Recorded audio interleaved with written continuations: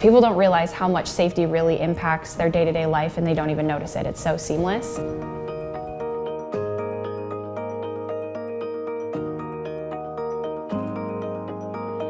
It's not just OSHA laws and working in manufacturing, there's the environmental side of it, thinking about underground storage tanks or you know dealing with chemicals or going into a construction site. There's always a safety person. Think about how dangerous construction sites are. So there is always a safety person no matter where you go.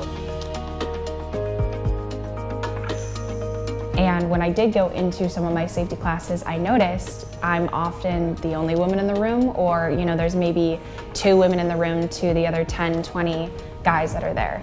So I got really excited when I would walk into a classroom and there would be someone like Dr. Buchman or, you know, Dr. Vosburgh that it was like, wow, there's another woman. And not only is she another woman, she's teaching this.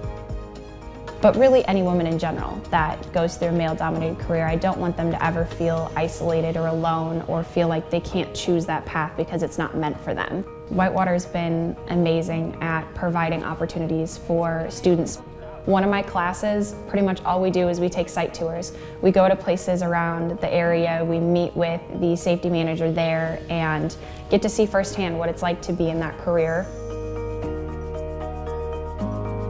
Um, in November 2021, I became United States of America's Miss Wisconsin and I went on to the national pageant, which is in Las Vegas, and I became United States of America's Miss. I have to have what's called a platform, and that's something that you go out into the community and you talk about.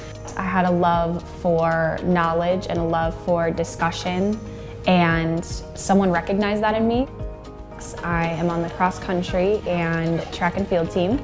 Choosing D3 allows you to be able to work a part-time internship and uh, a national pageant title and do all those things. And one of the reasons I did come here was because I had heard so many amazing things about the coaches and how supportive they were.